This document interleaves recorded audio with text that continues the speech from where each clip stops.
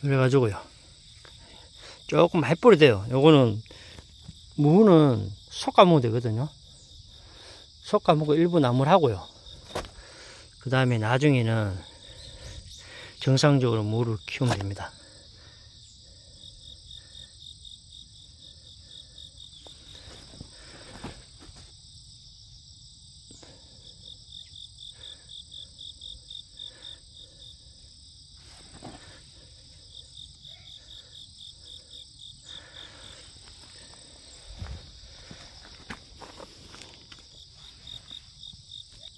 씨앗은 다 뿌렸어요. 흙을 살살 덮으면 됩니다.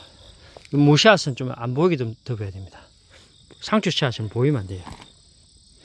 그것도 너무 깊이 씨앗 덮어도 안 되고.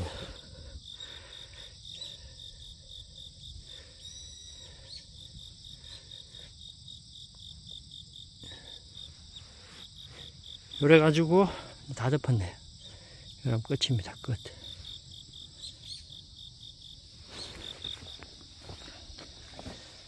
여름에 무엇이, 무씨앗은 다 뿌렸습니다.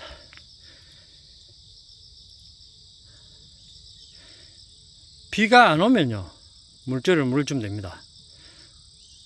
오늘도 비 온다 하더라고요. 비가 얼마 올지 모르기 때문에 제가 물줄에 물을 조금 줄 겁니다.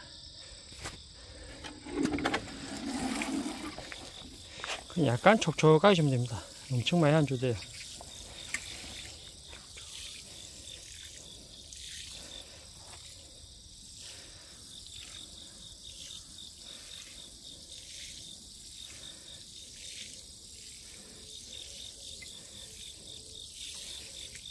이 정도면 충분합니다.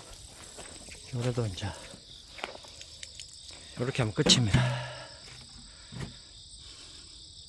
물가 어느 정도 자라잖아요. 키가 한, 한 10cm 가까이 되면은 살충제 한번 정도는 쳐야 됩니다. 한 번 정도만 쳐도 충분합니다.